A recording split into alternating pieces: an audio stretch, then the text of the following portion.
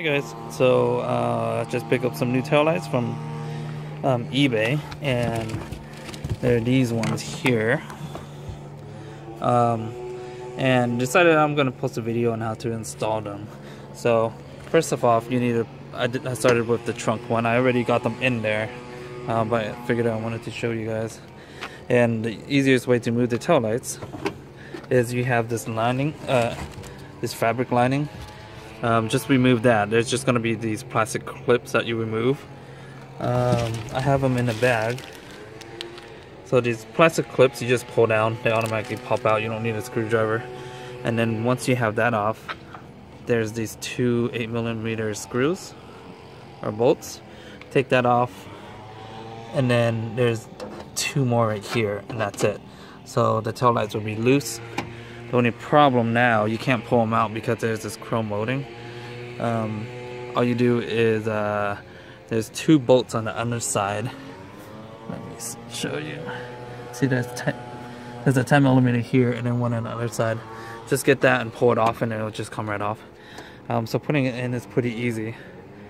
Um, now in terms of the wiring, this is what it came with. Uh, these two wiring right here and then this one actually plugs into the original light bulb. And then this is a little adapter it came with.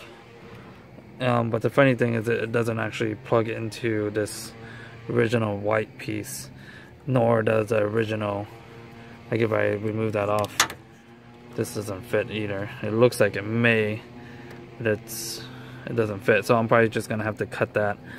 Um, this wire is looks like a green and black of the original harness. No I'm sorry of the the tail light and then looks like red in here. So I'm probably just gonna tap into that. Um, so that should be pretty easy. Uh, and now I just have to work on this here to remove these two. Um, it looks like I'm gonna have to take off the bumper to do so. And I started a little bit on this side pretty easy. There's these 10 millimeters right here. I already took off two, and then um, it should pop out. But uh, I read that you actually have to take off your bumper. Um, so I guess I'm gonna have to do that, and then go from there. So I had to take off the bumper, and the bumper is actually pretty easy. There's two screws over here. Um, two of those plastic clips on the bottom. And then there's uh, two hex screws on the side. And then once you get that out you just kind of yank the bumper. It kind of clips on from here. Uh, but once you get that out the bumper just comes off. And then the tail lights are actually bolted on here.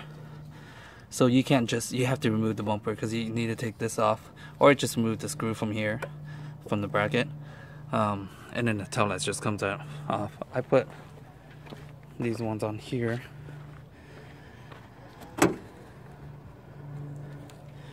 And they actually look pretty good. Um, that's, I think that's the easy part. The hard part is just gonna make sure the wires are in play. This one looks pretty complicated, so. Okay, so the bumper is back on. Tail lights are installed. Um, the wiring has not been done. Alright guys, so after after you get the tail lights installed, here is what their wiring, wiring looks like installed. Um, so if I pull this out, the the tail lights come with two plugs, actually technically three. Um, two of them looks like this, where um, they plug into the actual uh, bulb housing. So the the wires actually fit right into the housing. So there's two of them. Um, this one can go directly back in. And this one's actually for the turn signals. And this one here um, there's three wires on it. So this one one is for the turn signal one is for the brake light. I'm sorry not turn signal just a regular tail light and one's for the brake light. Um, and so that's all wired up. But it came with a third one which um, I don't know what that's for. It doesn't it's not for anything. I don't know if it's for like a universal plug. Um, but not being used. So that works 100%. After playing around with um, the harness, I was able to pull out the wire and the whole time I thought this was um, two separate wires, but if you look closely, it actually comes out um, to just two wires. So that just means the tail lights light up. But then this is just split off of the main um, connection. So again, this is kind of like the main outer housing. This is the only thing used. This is just like a universal adapter or some some type of adapter that's not being used. Um, so this is going to plug into the regular harness now, which uh, the regular harness, and then um, what I found out was this is the regular housing. This is the the one that the reverse tail lights.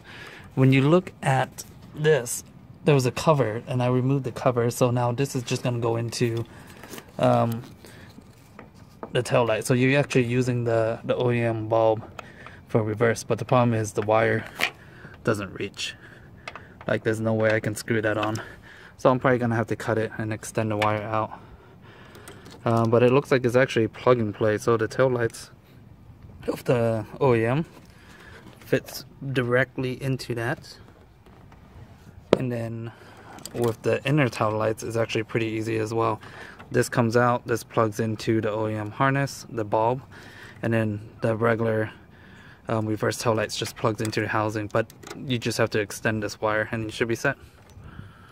Alright, so here is my final tail light setup. So I cut the harness, I put in these splicers, slicers, and then I just use some random. I actually used the um, the little weird harness that it came with. I cut the the wires and I extended it and plugged it into that. So this would just go into. So there you go. The actually probably need to tighten it, but the reverse light's in there and then um, the harness plugs right into the regular uh, OEM wiring and then spliced up and this is basically what it looks like. I'll probably just clean it up by um, putting some zip ties or taping this to that but let's test it out to see if the tail light works. I started up the car and it looks like that works. I haven't wired that side yet but the reverse light works, the turn signal works um, these LEDs work and then I've also tested the brake lights and that worked so there you have it. Uh, pretty quick and easy install. I would say probably about an hour um, minus the wiring. That probably is like only another 15 15 minutes or so. So looks good